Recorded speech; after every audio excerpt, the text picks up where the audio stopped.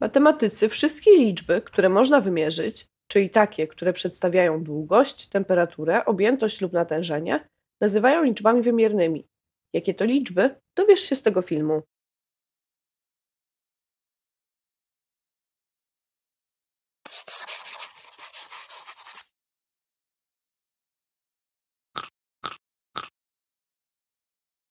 Zbiór liczb rzeczywistych składa się z dwóch podzbiorów: zbioru liczb wymiernych i zbioru liczb niewymiernych.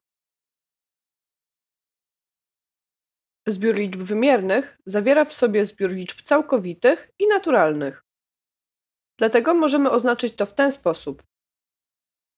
Zarówno liczby naturalne, jak i liczby całkowite są jednocześnie liczbami wymiernymi. Ale czym właściwie są liczby wymierne? Liczby wymierne to takie liczby, które możemy przedstawić za pomocą ułamka zwykłego nieskracalnego. W takiej postaci w równa się p przez q. Ten zapis oznacza, że nasz ułamek jest nieskracalny, czyli nie da się go już bardziej uprościć. Zobaczmy to na przykładzie. Przykładem liczby wymiernej będą dwie siódme, ponieważ nie możemy tego ułamka zapisać w prostszej postaci. Na diagramie mamy zapisane, że liczby całkowite i liczby naturalne również są liczbami wymiernymi. Czy na pewno? Zobaczmy. Weźmy liczbę 3. Liczbę 3 możemy zapisać jako 3 pierwsze, więc jest to liczba wymierna. Nieskracalne ułamki proste są liczbami wymiernymi. Liczby całkowite są liczbami wymiernymi. A czy ułamki dziesiętne też są liczbami wymiernymi? Zobaczmy. Mamy ułamek 125 tysięcznych. Przekształćmy go w ułamek prosty. Będzie to 125 przez 1000. Musimy jeszcze jak najbardziej uprościć nasz ułamek. Podzielmy więc licznik i mianownik przez 25. 125 podzielić na 25 daje nam 5, natomiast 1000 przez 25 daje nam 40. A więc nasz ułamek to 5 czterdziestych. Jak widzisz, dalej możemy go uprościć. Zróbmy to. Podzielmy licznik i mianownik jeszcze przez 5. 5 podzielić na 5 daje nam 1, 40 na 5 daje nam 8. A więc naszym ułamkiem jest 1 ósma, czyli 125 tysięcznych jest liczbą wymierną.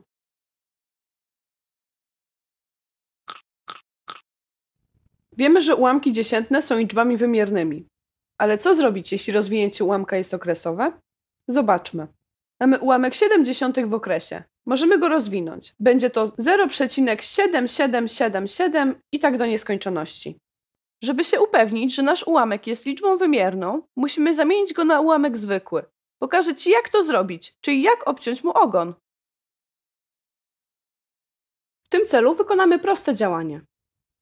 Zapiszmy, że x równa się 0,77777 do nieskończoności. Wtedy 10x będzie się równało 7,7777 i tak do nieskończoności. Od 10x odejmijmy x. Będzie się to równało 7,7777 do nieskończoności, odjąć 0,77777, 10x odjąć x daje nam 9x i to się równa 7, bo tych siódemek po przecinku w obu liczbach mamy tyle samo. Teraz możemy obie strony równania podzielić przez 9 i nasz x równa się 7 dziewiątych. Ułamek przedstawiony w postaci rozwinięcia dziesiętnego okresowego, tak jak ułamek zwykły, jest liczbą wymierną. Czyli przekształcenie naszego ułamka dziesiętnego z rozwinięciem okresowym na ułamek prosty polega na przesunięciu naszej liczby w okresie przed przecinek i pozbyciu się jej ogona.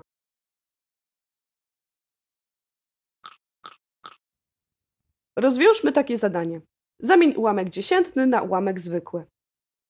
Naszym ułamkiem dziesiętnym jest liczba y równa 0,54 w okresie. Jest to to samo, co 0,54, 54, 54 do nieskończoności. Zobacz, ten ułamek ma okres składający się z dwóch liczb. Co trzeba zrobić, żeby przesunąć przecinek o dwa miejsca? Trzeba go pomnożyć przez 100. Wykonaj to działanie samodzielnie, postępując podobnie jak w poprzednim zadaniu. Zatrzymaj film, a następnie sprawdź swój wynik z moim. 100y równa się 54,5454 do nieskończoności. Teraz wystarczy, że od tych 100y odejmiemy y. To będzie się równać 54,5454 do nieskończoności, odjąć 0,5454 54 do nieskończoności. 100y minus y daje nam 99y, natomiast 54 z tym naszym ogonem odjąć właśnie ten ogon daje nam po prostu 54.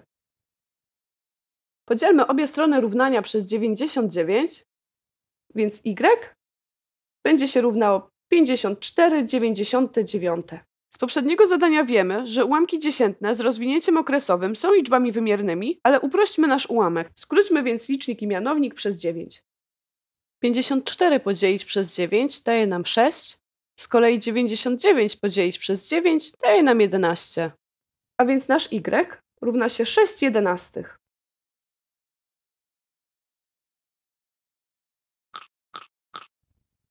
Rozwiążmy jeszcze jeden przykład. Naszym ułamkiem dziesiętnym jest liczba t równa 0,1 i 37 w okresie. Jest to to samo, co 0,1, 37, 37, 37. Do nieskończoności. Zauważ, że teraz okres zaczyna powtarzać się dopiero od czwartej cyfry po przecinku. Mamy powtarzające się 37. Przeszkadza nam jednak jedynka na początku okresu.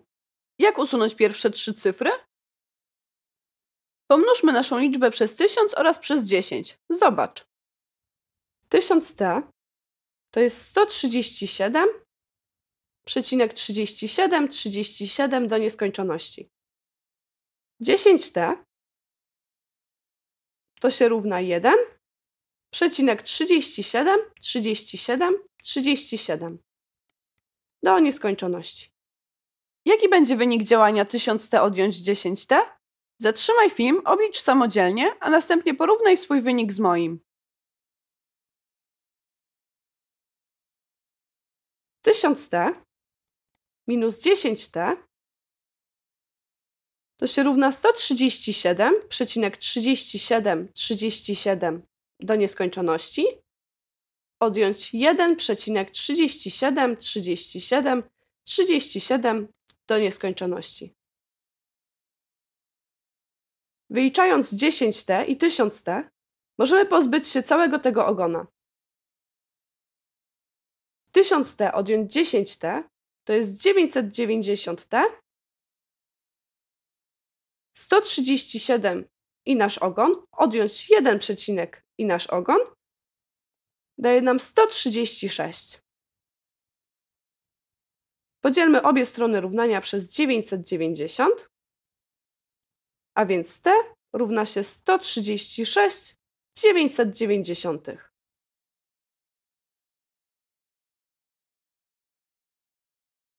Podzielmy jeszcze licznik i mianownik na 2. Daje nam 68.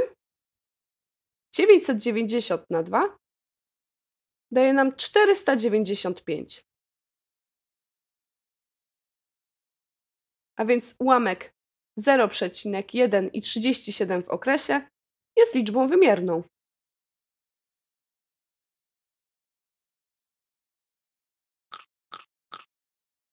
Rozwiążmy jeszcze jedno zadanie. Zakreśl wszystkie liczby, które należą do zbioru liczb wymiernych. Zatrzymaj film i spróbuj rozwiązać to zadanie samodzielnie.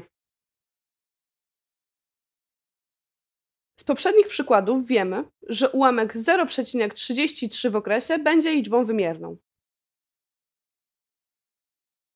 Pierwiastek z 36 to to samo co 6, więc również jest liczbą wymierną, ponieważ liczby całkowite są liczbami wymiernymi. Liczba 18 jest liczbą całkowitą, więc również jest liczbą wymierną, tak samo jak liczba 6 do czwartej. Liczbę 26,25 możemy zamienić na ułamek prosty, więc jest to liczba wymierna, tak samo jak liczbę 0,16.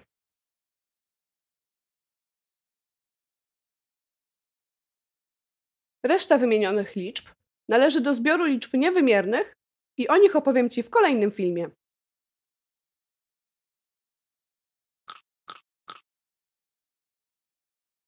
Zbiór liczb wymiernych oznaczamy symbolem W. Zawiera on w sobie wszystkie te liczby, które możemy określić za pomocą ułamka nieskracalnego liczb całkowitych. Zapraszam Cię do obejrzenia kolejnych filmów z playlisty o zbiorach liczbowych. Odwiedź też nasz fanpage na Facebooku.